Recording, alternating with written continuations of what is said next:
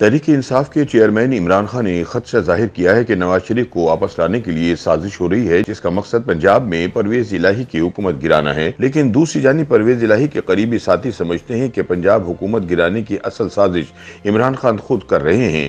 बाखबर जराये का कहना है की इसीलिए पी डी एम इतिहाद की क्यादत परवेज इलाही हुकूमत गिराने की कोशिश से पहले इन्हें ये मौका देने पर गौर कर रही है कि वो खुद इमरान का साथ छोड़ दें। सियासी तजियाकारों का कहना है कि अपनी दानिश में इमरान खान ने पंजाब हुकूमत गिराने की साजिश का इंकशाफ किया है, लेकिन परवेज हुकूमत गिराने की साजिश खुद इमरान खान कर रहे हैं, इसलिए वो दो तरीके इस्तेमाल कर रहे हैं। पहले तरीका इस्तेमाल करते हुए इमरान खान ने परवेज इलाही को वज़ीर अला बनवाने वाले नौ अरकान पंजाब असम्बली को वजारत देने से मना कर दिया। इमरान का कहना है कि काफिले की हिमायत के एवज परवेज इलाही को वजारत दी जा चुकी है, इसलिए मजीद कोई वजारत नहीं दी जा सकती। ऐसे में अगर काफली के अरकान पंजाब असम्बली नाराज़ होकर हुकूमत का साथ छोड़ दें तो परवेज इलाही वज़ीर अला नहीं रहेंगे। इमरान की जानब से परवेज इलाही हुकूमत के खिलाफ दूसरी साजिश इनका मुसलसल फौज मुखालिफ बयानिया है, जो कि इस्टेबलिशमेंट को मजबूर कर रहा है कि पंजाब हुकूमत खत्म होने दे ताकि इमरान मजीद कमज़ोर हो जाएँ। काफ लीग के अंदरूनी जराये का कहना है कि इसीलिए परवेज इलाही ने अपनी हुकूमत बचाने के लिए इमरान खान के फौज मुखालिफ बयानी के बरक्स प्रो फौज बयानी अपना लिया है और खुलकर इसका इजहार कर रहे हैं। हाल ही में परवेज इलाही ने जाम अशरफिया लाहौर में खिताब करते हुए कहा था कि फौज के खिलाफ बात करने वाले कौम और दीन के दुश्मन हैं। उन्होंने कहा कि मैंने सिपह सलार जनरल कमर जावेद बाजवा को बहुत करीब से देखा है।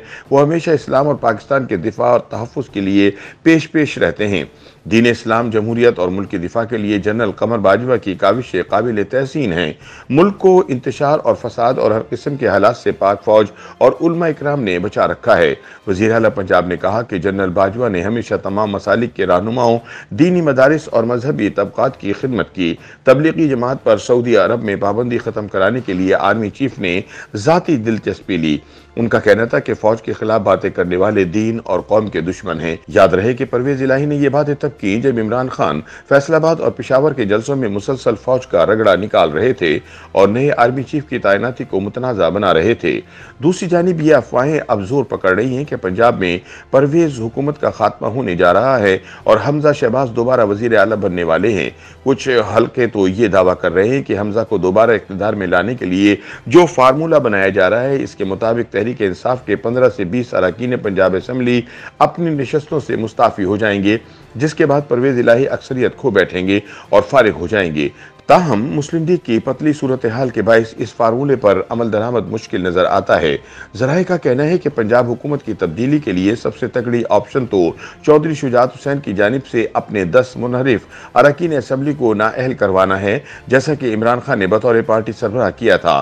याद रहे कि इमरान खान ने अपने 25 अरकान पंजाब असम्बली को वजारत आला के इलेक्शन में हमजा शहबाज को वोट देने पर इलेक्शन कमीशन के ज़रिए नाअहल करवा दिया था। इसी फार्मूले के तहत चौधरी शुजात हुसैन भी इलेक्शन कमीशन को अपनी हिदायत के बरखिलाफ हमजा शहबाज की बजाय परवेज इलाही को वोट देने पर नाअहल करवाने के लिए इलेक्शन कमीशन से रुजू कर सकते हैं। जराये का कहना है कि इस वक्त चौधरी शुजात हुसैन की सदारत का मामला इलेक्शन कमीशन में जेर समात है, जिस पर अगले चंद रोज में हतमी फैसला आ जाएगा। जराये का कहना है कि जैसे ही इलेक्शन कमीशन चौधरी शुजात की पार्टी सदारत को दोबारा कन्फर्म करेगा, शुजात हुसैन अपने अरकान पंजाब असम्बली को परवेज इलाही का साथ छोड़ने की वार्निंग देंगे। अगर उन्होंने ऐसा न किया तो शुजात हुसैन इलेक्शन कमीशन को खत लिख करना अहली का रेफरेंस दायर कर देंगे, जिसके बाद परवेज इलाही का बतौर वज़ीर अला बरकरार रहना मुमकिन नहीं रहेगा। लेकिन इस मामले पर तबसरा करते हुए परवेज इलाही के करीबी जराये का कहना है कि शुजात हुसैन सुप्रीम कोर्ट के फैसले के बाद किसी सूरत काफली के दस अरकान असम्बली को नाहल नहीं करवा सकते। उनका कहना था कि सुप्रीम कोर्ट की जानब से पार्टी सदर के इख्तियार से मुतालिक हालिया फैसला वाज है कि जिसकी रोशनी में मुस्लिम लीग काफ के दस अरकान की डिसक्वालिफिकेशन की दरख्वास्त अगर इलेक्शन कमीशन में दायर की जाती है तो वो सुप्रीम कोर्ट के फैसले की रोशनी में पहले दिन ही फारिग हो जाएगी।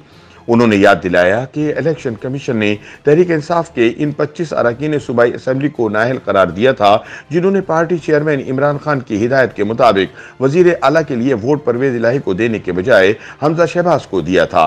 तहम सुप्रीम कोर्ट ने हमजा शहबाज की वजारत आला के फैसले में करार दिया था कि पार्टी सदर से ज़्यादा ताकत असम्बली में पार्लिमानी लीडर के पास होती है।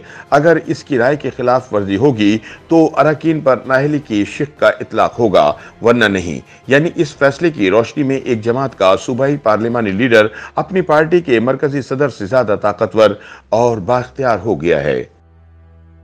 YouTube पर गूगली न्यूज़ देखने के लिए YouTube.com की सर्च बार में गूगली न्यूज़ टीवी टाइप करें। गूगली न्यूज़ के पेज पर सुर्ख रंग के सब्सक्रिप्शन वाले बटन पर क्लिक करना ना भूलिए। YouTube पेज पर अपलोड होने वाली वीडियो से बाखबर रहने के लिए बेल आइकन पर क्लिक कीजिए। आपको हर नई वीडियो के बारे में नोटिफिकेशन मौसू हो जाएगा।